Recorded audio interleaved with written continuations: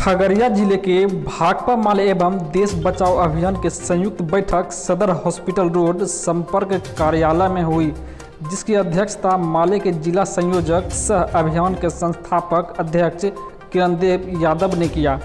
बैठक को संबोधित करते हुए भाकपा माले के जिला संयोजक किरण देव यादव ने क्या कुछ कहा, आइए सुनते हैं। आज देश बचाओ अभियान के तत्वाधान में हम लोग का बैठक हुआ है। और बैठक में हम लोग निर्णय लिए हैं कि खगड़िया की धरती पर आज पूरे देश में शिक्षा और रोज़गार के सवाल पर, शिक्षा और रोज़गार पर केंद्र सरकार हमला कर रही है और इस शिक्षा रोज़गार के सवाल को लेकर हम लोग शहीद आज़म भगत सिंह के शहादत दिवस पर 23 मार्च को खगड़िया कलेक्टर के सामने में एक विशाल धरना प्रदर्शन करने का निर्णय लिए हैं।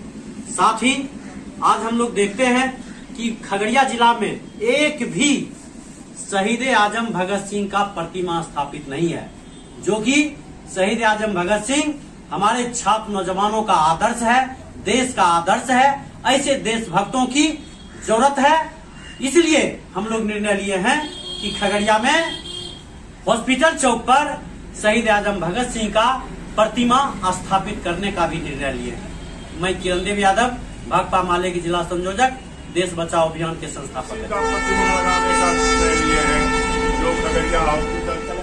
पर 23 मार्च को विशाल धरना प्रदर्शन होगा। तेईस मार्च को शहीद आज़म भगत सिंह के शहादत दिवस पर एक धरना प्रदर्शन किया जाए। लाइव बिहार यूट्यूब पर सब्सक्राइब और फेसबुक पर लाइक ज़रूर करें।